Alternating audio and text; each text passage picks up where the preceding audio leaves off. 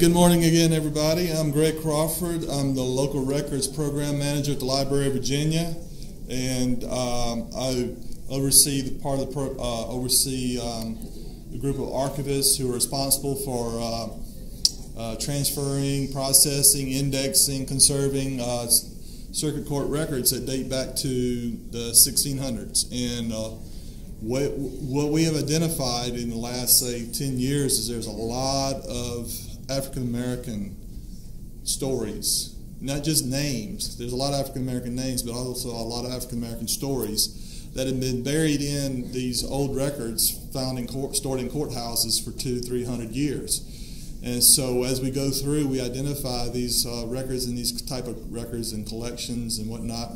We're processing them, scanning them, indexing them, and thank and thanks through to y'all getting them uh, in uh, getting them transcribed. And I, I couldn't tell you how many African American related court records have been transcribed in the last five years, but I uh, want you to know that we greatly appreciate it. The public greatly appreciate it. So we get a lot of comments on our Facebook, social media, Twitter regarding how, how vital this these collection this collection is, particularly the Virginia Untold collection that relates to African American narratives. So what I'm going to just talk about today is uh, I was asked to talk about uh, to kind of decode some of the uh, language that you I find, the types of records and the legal language and so forth that are typically found in these records. And this morning, I, there was a person in the back who's doing a transcription of a deed of emancipation found a word I'd never heard before called uh, pretentious or something like that. Not pretentious. Uh, what was it again? Pretentious, which is an old, it was an old word to mean fake claim. So there was somebody who was writing a deed of emancipation who wanted to make sure that this individual was freed and that if anybody who had a so-called valid claim or a fake claim, which is what that word pretentious meant, that uh, that they had no right to to him as an enslaved person. So just found a new word today. So let's go through. Let me go through some of this. Um, so first of all, I'm going to talk about a couple, two different record types. One is a deed of manumission, and another is deed of emancipation. They're two different types of documents, that, but the outcome is the same: is to to free an enslaved person. Uh, and if you're looking at today uh, in Virginia Untold on the transcribed site, you're still you're finding deeds of emancipation, deeds of uh, manumission in this in the collection to transcribe. Now, a deed of manumission is when is the act of a slaveholder who voluntarily emancipates one or more of his or her enslaved people, even though the given jurisdiction still recognizes the legal institution of slavery. So it's a, it's a legal document that they take to the courthouse to have recorded to manumit someone who is enslaved, even though there's still slavery in society, even though the government still recognizes slavery. This person has been freed. So let me give you an example of one of those documents here. Here is a gentleman named Jordan L. Uh, Jordan T. Morris, uh, and he is manumitting, setting free from slavery. You see in highlight the word manumitted from slavery. My wife, named Maria, aged about 39 years, together with six children: Alexander, Caroline, Ada Maria, Lucy T. Jordan, and Robert all of whom reside in the county of Henrico. And I do hereby give, grant, and release unto the said Maria Morris and her children, as aforesaid, and all our future increase, all my right, title, and claim. Now you notice here, Jordan T. Morris is a free man of color. He's a free man of color who owns his who owns his wife and children who were enslaved to him in the law, eyes of the law. This is something that was common in Virginia, but not as in the way a lot of people seem to think. Typically, when people people of color owned slaves, it was their family members. They were purchasing, they were buying them from slavery in order to ensure their protection from being sold out of the Commonwealth somewhere else. And typically, they were purchasing their family members because like Jordan T. Morris, I'm sure probably given what I, my background in these records is that he was formerly enslaved. He was able to get his freedom, But his wife, even though in Virginia, slaves were not, enslaved people could not legally marry, they still had husband wife relationships. His wife was probably owned by a different owner. And so somehow he probably got the money together in order to purchase her and purchase his children. But in the eyes of the law, they were still enslaved. But what I what I'm reading into is, but I read these records, I read these stories on a practically weekly basis. That what happened here, I'm sure, is was once he purchased them, he wrote this deed of manumission. Immediately went to the Henrico County courthouse to have them manumitted or freed no longer to be enslaved. Now, that's a manumission, so that's like an automatic, we go to the courthouse, you get freed that day. The deed of emancipation is a little bit different. The deed of emancipation occurs at a particular moment in time, namely when that transition from property to person occurs. Because enslaved people before 1865 were considered property. They were not, in, in, in the eyes of the government, they were property, not people. And so in an emancipation deed, I'm going to give you an example of this, how it worked. For example, this is a deed of emancipation from uh, city of Lynchburg involving a Torsmond Lockett. Torsmond Lockett was enslaved to a Dr. Hopkins when he was born. When Dr. Hopkins died, he put in his will that he wanted all his slaves emancipated. But they were not going to be emancipated the day after he died. He set time periods. In the case of Torsmond Lockett, he could not be freed, emancipated until he turned 44 years old. He was around five or six years old when Dr. Hopkins died. But he had to remain a slave until age 44. Well, his parents, who Dr. Hopkins also owned, his parents were emancipated uh, soon after he died. But their son remained enslaved to the Hopkins family. Well, a member of the Hopkins family who owned Torres Torsmond got into debt, and the only way he could repay the debt was to sell Torsmond at a courthouse auction in order to repay his debt. So he takes him to the Nelson County Courthouse to sell Torsmond. Torsmond's father was there watching this happen. And somehow he got the money to purchase his son. He did it so that his son he wouldn't didn't want to see his son go off to Richmond or off to Alabama or anywhere you know Mississippi, Georgia. He would never see him again. He managed to get the money to purchase his son, but uh, but according to the will, his son could not be freed until age 44. It's not like Torsmond could. T- I mean. Uh, Torsmond's father could take his son to the courthouse the next day and give him a manumission deed and free him right then. He had to wait until his, his son turned 44. So imagine his parents, they don't see him as an enslaved person, they see him as a son. But still, in the eyes of the law, in the eyes of the government, he's still an enslaved person. But here, this deed of emancipation uh, is, was recorded in Lynchburg. In it, it shows that Torsmond's, father, Torsmond's mother went to the Lynchburg courthouse free and did this deed of emancipation because her son had just turned 44. So she had to wait 40 years before she could give him his freedom. But she finally gave him his freedom. Thankfully, his father was the one who purchased him and kept him from going off somewhere far away, never be seen again. But the unfortunate thing is, his father didn't live long enough to see his son freed. These are the stories that y'all are bringing out through these transcriptions. These are, you know, just not names. These are people with real life stories. Many are tragic, but many are like this one where there's triumph and found in them. Now I'm going to now I'm going to go through some of the uh, different types of words and phrases that you, you know that are found in these documents that you're trying. What do these mean? What does these words mean? I'm, I'm typing these words, I'm reading this document, but there's a lot of words and terms that I'm not familiar with that we don't use today.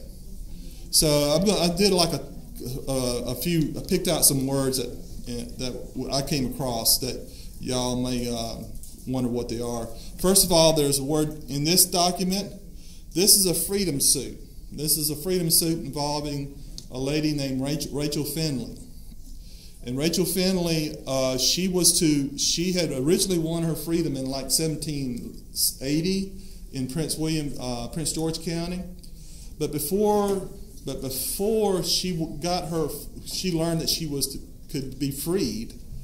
The person who owned her, who lived in Powhatan County, knowing that he was going to lose his suit, had her taken to Southwest Virginia and sold. And she spent 30, 20, 30 years in Southwest Virginia, not realize as a slave, but not realizing she should have been freed, and that she had won her freedom. But 30, 20 years later, she learned that she had, she had been freed, and so she filed suit in Wythe County Court to win her to get her freedom back. So she files it, and here you got some words in her document. This declaration in form of pauperis, and then there's some initials here, PQ, by this guy's name. So I'm just going to explain what some of these are. A declaration is a formal statement submitted to a court in which the writer swears that the contents are true. So Rachel in this court case is saying everything I'm saying in this court case, everything that I'm having written down here about what happened, about how I won my freedom in Prince George, uh, Prince George County, and how I was sold in Southwest Virginia, and everything that came with it, everything I'm saying is true that the person who now owns me should not be owning me. He knew, he knew that I had won my freedom. Therefore, sh- he should not be keeping me as a slave anymore. And so some of the initials that were in there, you got like PQ. We saw it by the individual's name. The PQ by the individual's name is a Latin term. It's pro querente. So excuse my southern Latin, uh, but I believe that's how it's pronounced. Pro querente and which means representing representing the plaintiff. So this gentleman down here, that's G. Henderson, with the PQ beside it, as pro querente, saying Henderson is is the legal representative for Rachel Findley in this court case. And then there, if you see a uh, if you see a PD, that means pro defente. So it's whoever's representing the defense defendant. In this case, I believe the gentleman's name was John Draper, who was the defendant, who's the guy who purchased Rachel knowing that she was really should have been freed. Uh, so if you see a PD, it's representing the defendant. And in the in form of pauperis means in the manner of a pauper. y'all know what a pauper is? P A U P E R. Yes. Yeah, that's a poor person. They don't have any money, and so here is saying Rachel is suing as a pauper, which means the lo- that means the, the locality, the court, the local they provide the lawyer, they provide the funds in order for her to hear this case. So so someone who's an indigent person who who says the court costs will be waived or some uh, or the local court will cover the cost of her defense or her uh, lawsuit. So here you got declaration in form of pauperis, and it says she complains of John Draper in the custody of plea of trespass, assault, and battery. That's all legal language. That's she's suing on the basis of the law of Virginia. The law of Virginia. She's saying this was illegal. This was an assault. This was a trespass on my freedom.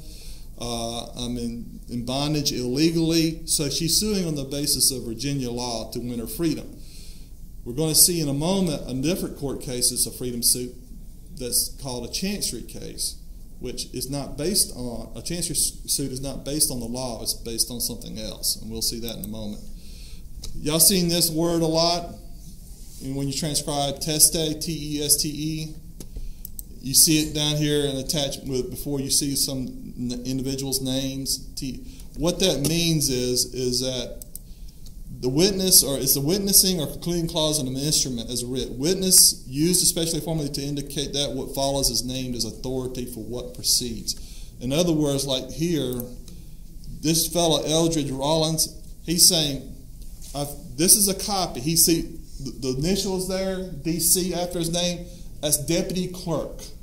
Deputy clerk. Sometimes you'll see CC. That's court clerk or county clerk. He's a legal, he's a, he's a representative of the, the courthouse. He went through the records and made a copy because this case was from Wythe County, Powhatan County, Prince George County. So the local clerks would make copies of court documents that were filed in the original case. And then they would get filed with this case here. So uh, they would make copies. So basically, saying everything I've written down is true. I didn't change any words. I didn't make any commentary on anything. I copied word for basically he was a transcriber. He was transcribing documents back then. And by adding the word teste, he was basically saying everything that I copied or transcribed was is true. I didn't make any changes.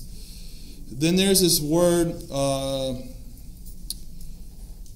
I don't even know if I can pronounce it. Certiorari. Y'all see it how it's spelled out, and it's spelled out in the documents. But it's a writ, which basically means is that the one of the individuals, one of the individuals in the suit, where the plaintiff or defendant is requesting that the case be moved to another court or to another locality. All right, and in the case of Rachel Finley, she made constant requests to have her freedom suit moved from Wythe County from one court to another, or from one, one locality to another. In this case here, she says, Your petitioner humbly hopes and prays that your honor will grant to her this certiorari for the purpose of removing her said suit to the Superior Court of Law in Wythe County. She originally filed her court case in the, in the county court of Wythe County, but she's wanting it moved to a different court, the Superior Court of Law in Wythe County. Why? Because if you see, read this case, the judge kept, kept putting the case off, putting the case off, delaying it to the next term, delaying it to the next term. He did that for 10 years. Because the judges who were hearing her case were friends with her owner, John Draper. So they didn't want, you know, he was like, don't give her her freedom. Just delay this and maybe she'll just stop. Maybe she'll just drop the suit. But she kept pushing and she kept pushing. And so finally she filed this petition for a writ of the sea here, certiorari, in which he says, I'm not long for this life. And you can probably read it up here on this document here. She says, you know, your petitioner has between 30 and 40 descendants whose children and grandchildren, liberties of all whom depend the determination of this suit. And your petitioner is old and very infirmed, and her living cannot be much longer calculated upon. And should she die, they'll have to start this lawsuit all over again. So she was like, please move this case. She filed for this writ of certiorari to move it from the circuit court to the superior court of law. Well, they didn't do it, so she filed another writ to have it moved to the general court in Richmond, like the Supreme Court of today. And then that case, then she filed another writ of certiorari to have it moved to Powhatan County, where she was from originally. 30 years earlier. They finally moved the case there. The case was heard. She won her freedom. And all 30, 40 descendants won their freedom as well. So, because once the female enslaved person wins her freedom, all her children and all descendants through her have their freedom as well. Relict. Uh, this has a little negative connotation to it. I mean, like old or something, but it's applied to in in in in the in the court records. It's usually applied to the survivor of a pair of married people, whether the survivor is the husband or the wife. So it's a widow. It's another word for widow, is what relict is. As you see here, it's appearing in the evidence court that uh, Catherine Bruce, widow and relict of Andrew Bruce. Basically, the word relict is she's the surviving married partner. So that's just a legal term for that, for a widow. And then there's this term ex parte. I don't know if you may, many of you came across this term. It means from the part. And it generally describes hearing held or orders, hearings held or orders made by the court at the request of one party without providing notice to or permitting argument from the opposing party. In other words, it's a petition filed by an individual in court where there is no defendant. There's no opposing party in it. It's just a single individual and this is commonly found in uh, the circuit court records, particularly in relation to slaves who were suing for reenslavement or petitioning for reenslavement. For, for example, here is an, it says ex parte Absalom. on a petition of Absalom, a free man of color, desiring to choose Matthew Taylor as master and become his slave. Now, why in the world would someone want to go back into slavery?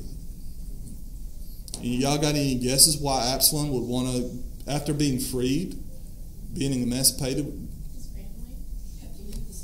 have to leave the state, family, spouse. So th- those are all good questions. It's not because they wanted to; it's because they had really no other options. You, you know, if you had an elderly slave, person who was elderly, who had been enslaved for 40, 50 years, they're in their 50s, 60s, they're not in great health. But according to Virginia law, once you were emancipated, you had to leave the state after one year. Well, where are they going to go? Well, they're going to go to Pennsylvania, Ohio, but do they know anybody there? Can they start a life over there? For them, many of them, they, they describe the, the North as being a foreign country to them. The only life they've known is here in Virginia. All their family are here in Virginia. They may be married, to, they may have a, a, a marital relationship with an enslaved person who's not freed. And so many of these petitions, they're going into the, the petitions for reenslavement had nothing to do with like they enjoyed being enslaved. It had to be with the restrictions society had placed upon them. So, um, so the, a lot of these ex partes are in relation to that. Then there's the special verdict, and a, a verdict is basically a special verdict is when the judge, there is some question, a point in the case uh, that needs clarification. And the judge, it is not like a guilty or not guilty verdict, is more or less trying to get all the everyone on in a consensus on a point of issue that's before the court.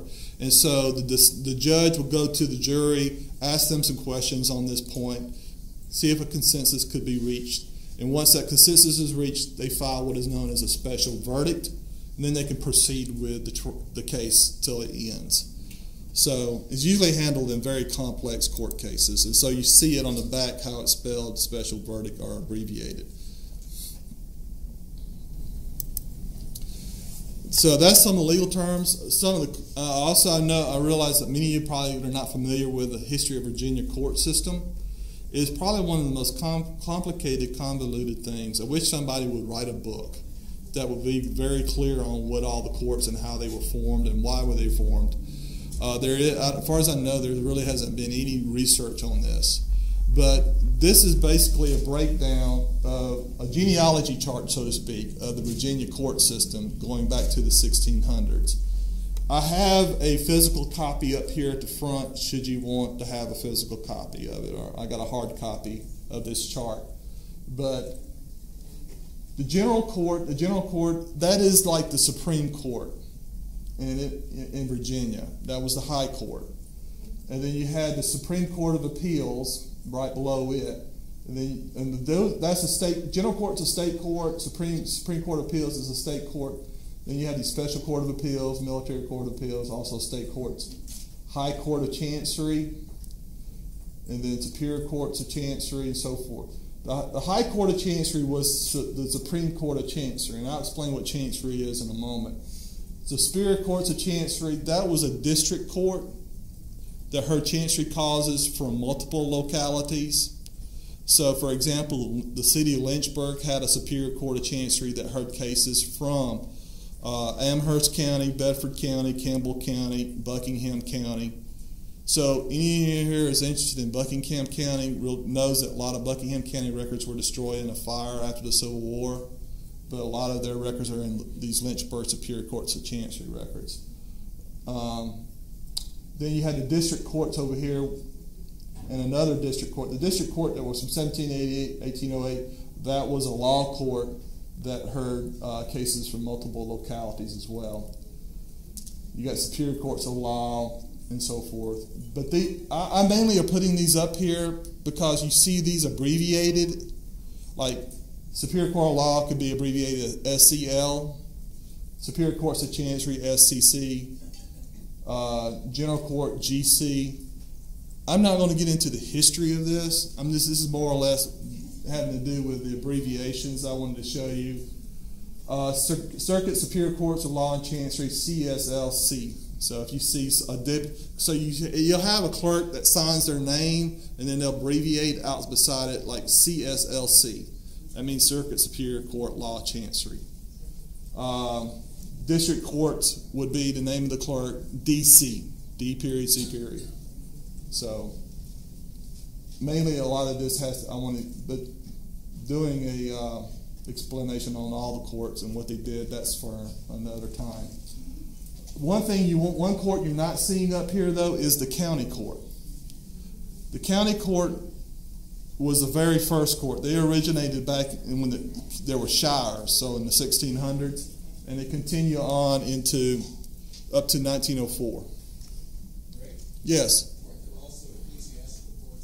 There were there I th- yes I believe there were parish or ecclesiastical courts before the Revolutionary War, but those were not public courts; those were church courts. Yeah. Okay. And then there's the Oyer and Terminer courts. Oyer and Terminer courts. Uh, that's y'all. Probably, those of you who transcribe public claims probably came across these courts. These were special courts specifically designed to hear cases involving capital crimes involving enslaved people.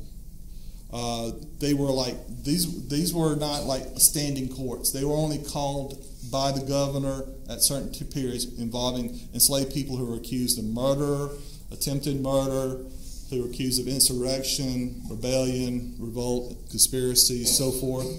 These were, these were uh, unconstitutional courts. But the problem is that enslaved people were not seen as citizens of the United States. They were perceived as property, so they could get away with doing these courts against enslaved people, involving enslaved people. This was to basically have a quick and dirty verdict, judgment, and so. These cases, these courts lasted maybe four or five hours.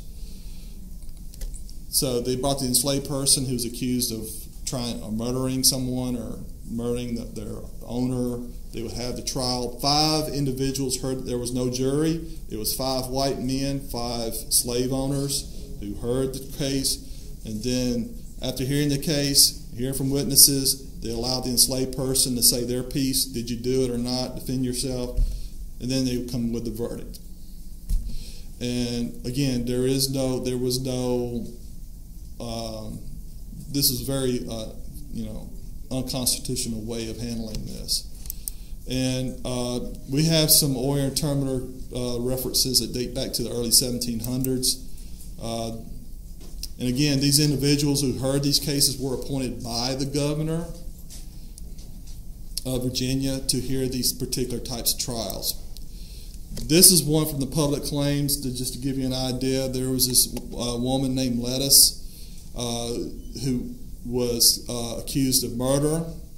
She was put on trial in 1779 in Dinwiddie County before an Oyer and Terminer court. She was found guilty and was sentenced to be executed by hanging. But the fact, by the fact that she was with child at the time she was convicted, they said, let her give birth. Two months later, after she gives birth, then hang her. She had no defense attorney. She had no witnesses who could speak on her behalf in the story.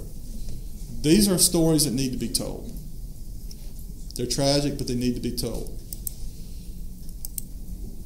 And then finally, uh, I'm not going going to get into this, but there is also the chancery courts. The chancery courts had to do with matters not related to law, but matters of fairness, matters of equity. What was right, what was wrong. It had nothing to do with the law. For example, when Rachel filed, Rachel Finley filed her case, she filed it on the basis of law that John Draper broke the law of Virginia. She should not have kept her enslaved, and she pointed out the laws that he broke to put her in, illegally in slavery. Here, in this case, in a chancery case, the this family here, the Cullens family, they were emancipated by the uh, will of their owner.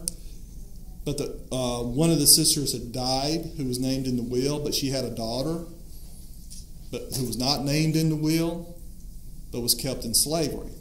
The sisters were saying she should not be a slave because she was the daughter of our sister. Well, the problem is, in the eyes of law, they didn't recognize that because the daughter's name was not listed in the will. If her name was listed in the will, then she could be free. But because she was not in the will, her name was not included in the will, in the eyes of the law, she was not to be freed. Well, the sisters are saying that's not fair. That's not fair. So they sued on the chancery court, in the chancery court, where a case was heard with by one judge, in order to determine if it was fair for her, their niece, to be still enslaved or not. And this case is now available on, Virginia, on the transcribe site. We put it up this week for y'all to transcribe and tell the Cullen sister stories and their efforts to win the freedom of their niece.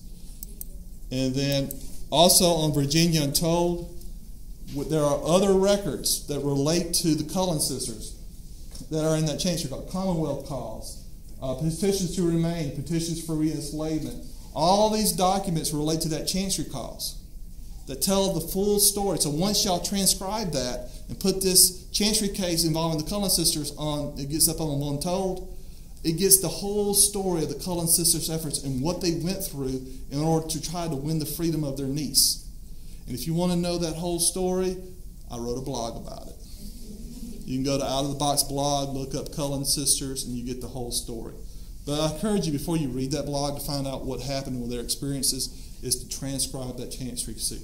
It's full of emotion, of wanting to win the freedom of their niece.